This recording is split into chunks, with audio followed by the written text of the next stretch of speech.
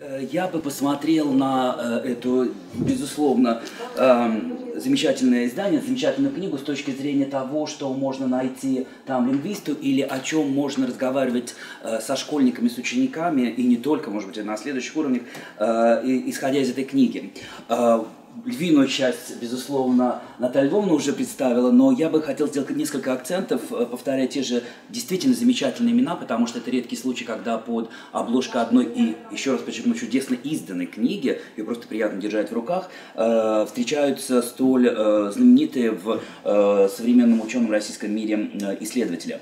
И начну я э, в продолжении мысли Наталья Львовна, буквально чуть ли не с той же цитаты э, из э, предисловия Натальи Леонидовны Шубиной, которая говорит о том, что вот этот, это издание, эта книга действительно может стать очень мощным интеллектуальным Э, ресурсом для становления разных направлений методической науки, и она объединяет учителей и ученых. Все-таки на нашей памяти не так много книг, в которой абсолютно э, на равных заявлены имена уже действительно реализовавшихся профессоров, докторов наук, членов академии, или не только э, отечественных, и учителей, которые тоже работают и которые тоже вносят свой вклад весомый в данное направление. И буквально в нескольких штрихах я бы выделил то, что мне представляется наиболее интересным, и то, чем действительно можно работать на занятиях э, в школе.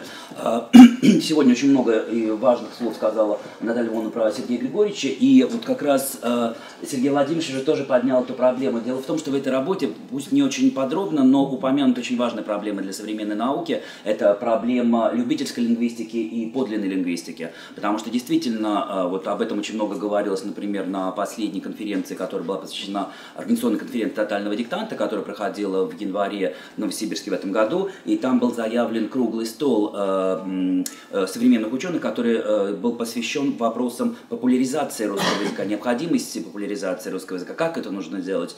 Дело в том, что мы действительно, наверное, должны уже противостоять всем этим бессмысленным историям.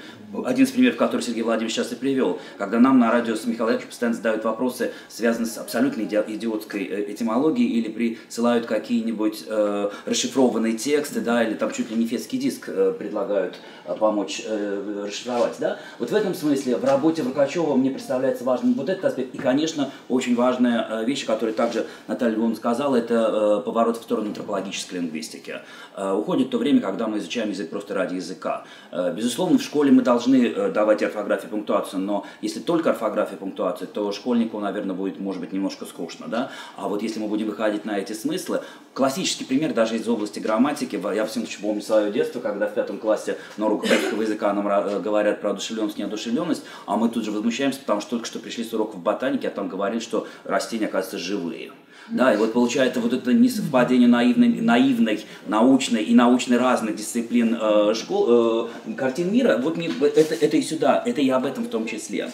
Из Владимира Чакарасика я бы, если вот, опять же, сделать какие-то рэперные точки, выделить его работе, я бы выделил саму э, очень глубокие, ну, собственно говоря, это корифей, э, концептология, э, едва ли не отец-основатель отечественного направления. Это саму природу концепта, какие разные подходы к нему бывают, да, и основные подходы в концептологии, потому что действительно, и Наталья Львовна в своем докладе подчеркнула, что в России существует энное количество школ, где занимаются этой проблематикой, и э, зачастую э, происходили очень странные вещи, когда э, защищали едва ли не кандидатские э, диссертации, посвященные, допустим, концепту там, самовар в творчестве э, Салтыкова-Щедрина. Э, наверное, у Салтыкова-Щедрина э, самовар играет какую-то важную роль, да, но говорить о концепте тут уже э, это отдельная тема. Вот о такого рода вещах э, как раз можно прочесть и в работе Владимира Ильича на своей останусь только просто потому, что там заяв, заяв, заявил, что э, будут э, лингвисты представлены. В моей работе просто, э, вот, как мне писать,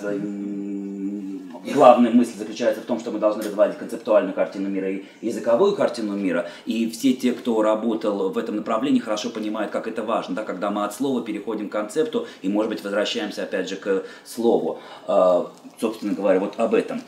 Э, Нина Сергеевна Болтона, я когда увидел, что она будет в качестве участника э, монографии и в качестве члена редакционной коллегии, это, ну, сердце возрадовалось. Почему? Потому что это действительно очень важный э, ученый для э, современной отечественной науки, и э, все, кто так или иначе связан с преподаванием, допустим, э, филологического анализа текста, художественной стилистики, э, стилистики вообще, функциональные имею в виду, да, стилистики, тот знает ее работы, безусловно, и, безусловно, э, очень э, сильный учебник, который мне представляется, можно использовать не только в, учи, э, в университетской э, среде, но и в школьной. Это ее огромный, действительно большой, великолепно изданный э, содержательный учебник филологический анализ текста, который же э, имеет несколько переизданий. Вот там представлены идеи коммуникативной стилистики. Если вы никогда не слышали о работах Нины Сергеевны Болтонов, то вот эта работа очень хорошо дает представление о всем том широком спектре э, того, чем занимается Нина Сергеевна и ее ученики. Илья Анатольевна Мартьянова, дивно интересный э, текст, связанный с тем, что он, он, он не в первой главе, то есть не той, которая теоретическая, но в той, которая практическая, и мне представляется очень интересный подход. Вообще-то Илья Анатольевна занимается в первую очередь тем, что связано с понятием литературная кинематографичность, тоже очень модное сейчас направление, в том числе и в западных э, гуманитарных исследованиях, вза взаимовлияние кино, текста, визуализация, да, вербализация информации, э, проблем там реализованных текстов, да, если подходить к этому шире. Но в этой работе вот так вот очень изящно, очень красиво э, проанализировано или так штрихами намечено исследование того, а как кино представлено в э, русской литературе э, 20 века. Говоря, раньше не могло быть, да, потому что кинематограф был изобретен в самом конце 19-го. И вот э, получается то, как ну, конкретный анализ э, ученого, доктора наук, э, да, профессора э, одного маленького концепта на э, полотне русской литературы 20 века, это дорого стоит, это очень интересное чтение.